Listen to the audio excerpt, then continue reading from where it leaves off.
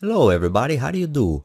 In this exercise you can learn to program dynamic thumbnail image cycling programs where the pictures automatically cycle as the user places their mouse over a preview image.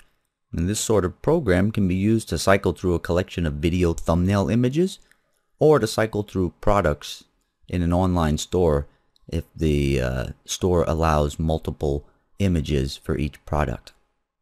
And it's becoming very popular functionality for video thumbnails or product images and things like that. And the application that you see right here is the finished product of what you're going to be learning how to program in this video tutorial. So follow along with me, my friend. Okay, alright, let's go. Okay, we're going to begin with the bare bones of an HTML5 web document. Mine is named example.html. Now let's start with the HTML content that we're going to put in the body element. And that's just going to be one line. It's going to be one div element with an ID of items container. And everything's going to be dynamically put in that container through script. So if you've never rendered HTML content through JavaScript dynamically, this will be a good tutorial for you. Now let's move along to the CSS portion of the document and let's put in all the CSS needed for the page. So you can see this rule is targeting anything that has a class of item. And then this rule is targeting any image elements that are children of the item element.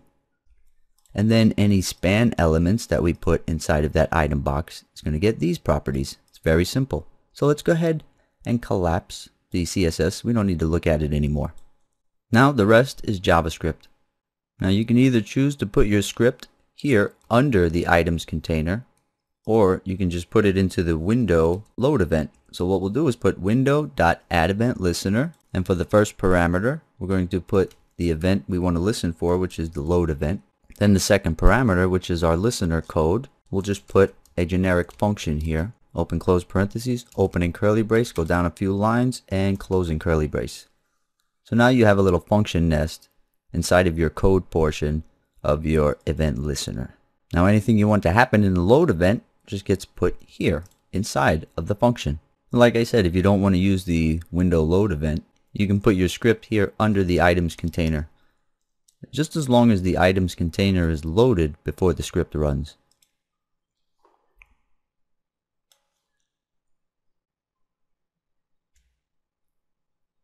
Okay, the first thing we're going to do inside of our load event is create an object reference for the items container. And we're doing that so we can append child. We'll use the append child method. We're going to sync dynamic elements into it. Now we're going to create a couple of variables. We're just going to initialize a couple of variables that our program is going to require. The first one is named thumb timer, and that's going to represent the set interval method when we call it to run. TI variable stands for timer index and this number will be incremented and then set back to zero to create the cycling effect. Now the dir variable, that's going to be the directory for your images. Mine just happened to be in a folder called item images and then forward slash. Okay, so now the next three lines are going to be JSON objects. And I did a very long tutorial series. It's a whole bunch of videos on how to program JSON data structures. So if you're looking at this data structure and you're saying, what the hell is he doing there? All you have to do is learn JSON. And I have a whole bunch of video tutorials about JSON programming for beginners. So here's object 1, object 2, and object 3. Now if you look at the JSON object, you'll see that it's nothing more than an associative array. It allows you to put key value pairs. And I have two sets of data in each object. The name data, which has a value of pistol for this one, glasses for this one, and box for this one. Then we also have another piece of data which is an array and the key is pix. So the array key is pix and then the array data is simply put after the colon. And you can see the pistol has three JPEG images associated with it and the box has four JPEG images associated with it. Now you can also get this data from the server using AJAX requests and then process it in as JSON objects, which we discussed in all of those video tutorials. We showed how to access MySQL databases, get the information out of the database as JSON data structure, then send it back to our JavaScript program where JavaScript can decode the JSON and make it into arrays that you can just loop over. We explained all of that stuff in the JSON programming videos. Now another thing I want to mention about these JSON objects, you can see I have two pieces of data in each object, name and pics. You can go ahead and add another piece of data if you just put a comma here and say you want to put price colon and then in a string or as a number you can put the price. So you can say 5.99 or you can put it into a string like that. I would just leave it as a string encapsulated in quotes. So each one of these objects could be given a price. And in the loop I'm going to show you how to grab all of those pieces of data within the objects so after all of the objects are in place I'm going to create an array to hold all three of those objects. So this is just a basic array. And in that array, there are three JSON objects. Now I'm going to loop over that array and then I'll be able to have access to all of those objects and all the data within them. So we say var i equals 0 while i is less than array.length we're going to i++. So this uh, for loop will keep running. It, this for loop will run for as many items as there are in this array. So this for loop is set up to run three times. One, two, three. And it starts with an index of zero, and all arrays have an index of zero. So this array has index zero, one, two, but there's three items in it. And that's why we put the data into an array. That way we can easily loop over it. Now within this loop, we want to start setting up dynamic elements that are going to be placed into this items container as children. So the first thing we do in the for loop is we set up those create element methods for div, image, and span. So basically all you're doing here is dynamically creating a div, dynamically creating an image element, and dynamically creating a span element. So remember this div is going to be the parent container for this image and this span. Now each of these divs, we want to give the item class to it. So as each div is dynamically created, we give it dot class name equals item. That makes it connected to the CSS rule for item. That way, right when it's put on the page, it has all of the, the look that we want. Now we're going to reference the image. And what you can do in HTML5 is make custom attributes. So I'm making a custom property or attribute here and it's called OI which is object index.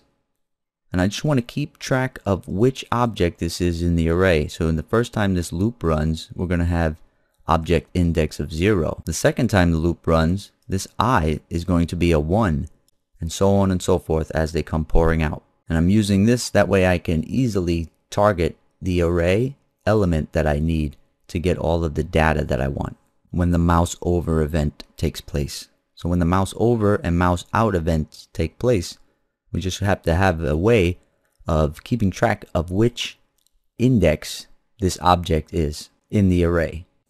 Okay, now we're going to actually put the first image in place. So you see for the pistol, we have pistol a.jpg is the first image. For the glasses, we have glasses a.jpg is the first image. And these can have any naming conventions that you want. They don't have to be named A, B, C, D like the way mine are here. They can have any names. These image files on your server could have any name. Okay, so for the image, we're going to set its source attribute now, and that's what actually puts an image to render into the image element. We put the directory, which in our case was item images forward slash, so the directory goes there, and then we append to that string the array i index, then we go into the pics data goes into the array and it references the object for which is coming through the loop.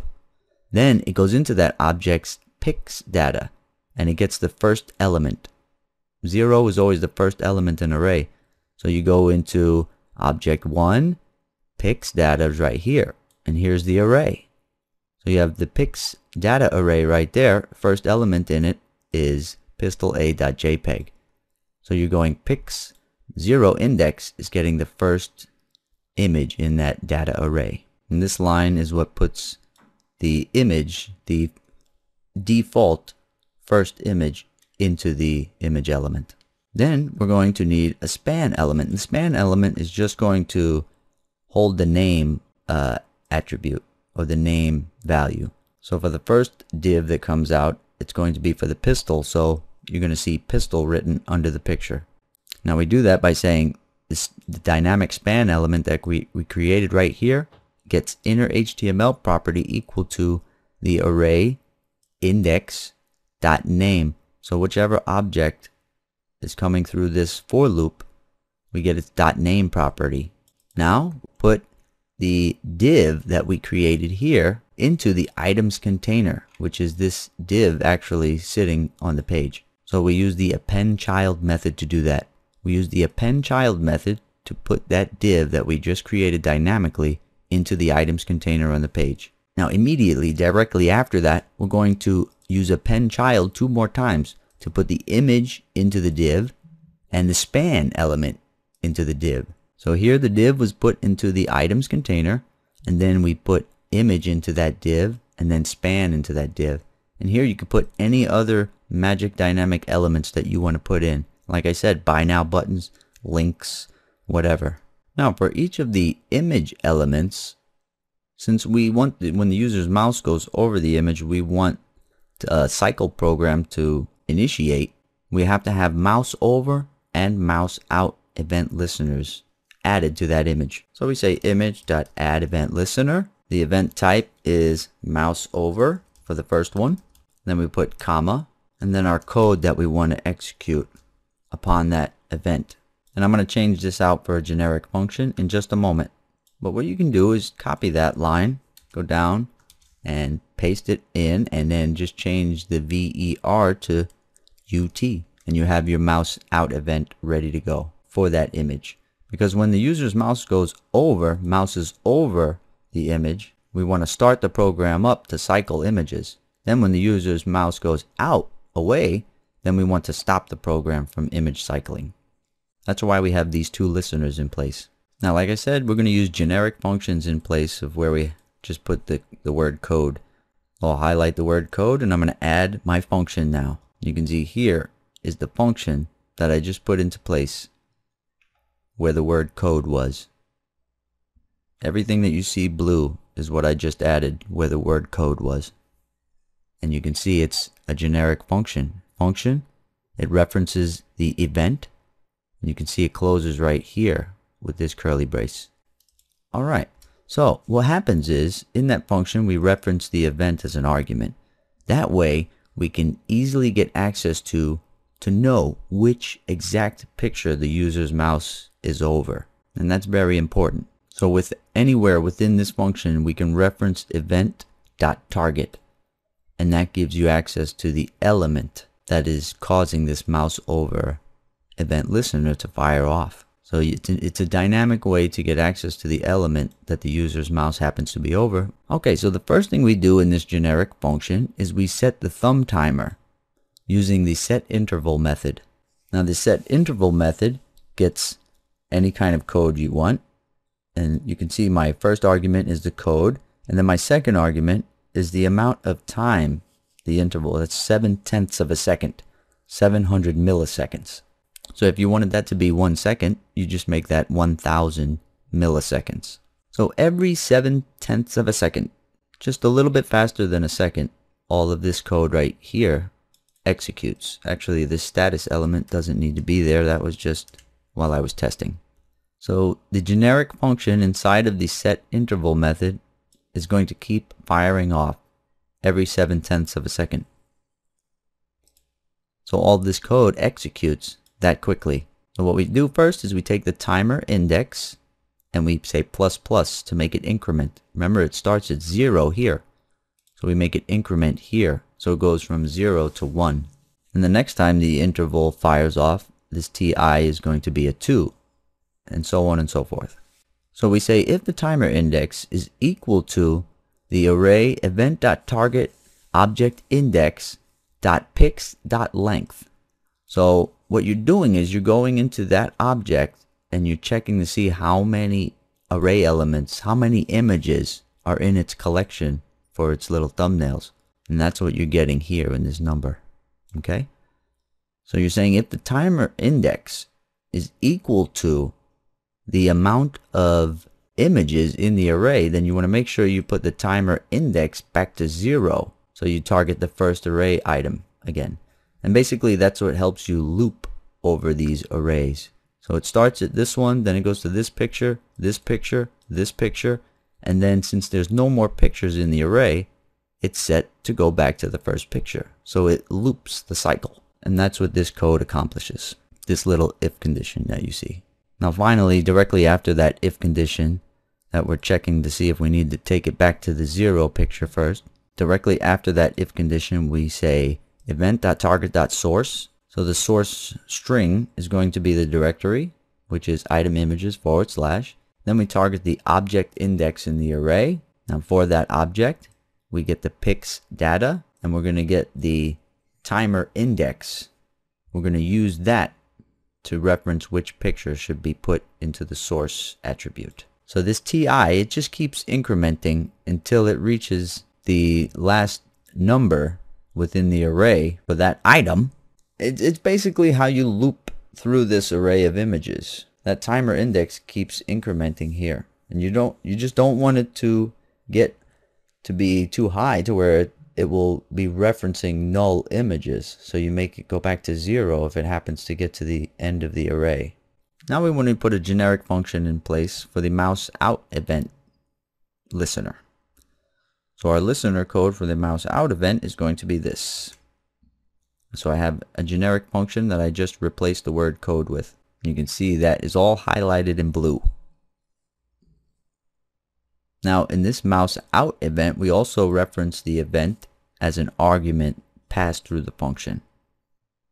First line within the mouse out event is we clear the thumb timer. That stops the timer and there's going to be no more cycling when the mouse leaves the image. Then we make the timer index go back to zero because when the user goes back over the image, it can start from the beginning again. Or if it goes to a new image, it'll start from the beginning they put their mouse over a new product or whatever. Then the last thing in the mouse out is you want to set the image back to the default image for that product. So since TI is reset to zero here, you can just use TI here to fetch the first image for that object. So this line just puts the first default image back into place for whichever image they moused out of. Now let's see if we have a working application. Let's test this in our favorite browser. All right. So you can see my mouse goes over the pistol and it's cycling through all the pistol pictures. There's three of them. There's also three pictures for the glasses. And there's four pictures for the box. So that shows you you can have any amount of pictures. Let's say your pistol had 20 different pictures. You can just list them all right in here in the array. And this all of this data, remember, this all of this data can get dynamically rendered into these objects through database queries. So you can actually query a database, then use a server-side language to structure all of that data coming out of the database as JSON, which those videos that I made a long time ago, it explains all that. Okay, one final look, and we'll call it quits. As you can see, it has simple, good functionality. When the mouse goes away, it goes back to the original image that's supposed to be there as the default image. Okay? Now, this program can work in so many different ways. When I was writing it, there was I did it in 10 different ways, basically. So there's so many different ways you can skin this cat. Uh, but basically, the logic is when the user's mouse goes over the thing, you want to cycle some images in that element until their mouse leaves it. That's the fundamental logic, but there's so many different ways to go about it with JavaScript. I'll tell you, the script you see here just happens to be what I refined. I refined it using JSON objects, but when I first wrote the script and everything worked, I didn't use JSON objects. I had actual elements down in the page. So you could have all of your elements in the items container hard coded in. You can have all those divs with the images and the spans in the HTML. You don't have to have JSON objects or database data rendering all of these divs to the page. They can you can actually hard code them into the items container or anywhere you want on the page. But this just shows you a way to maybe, you know, use data that is structured as JSON. That way you can use database queries to get dynamic data from the database and nothing has to be hard coded. Alright, so if you have any questions or concerns, please leave your comment below. Bye bye.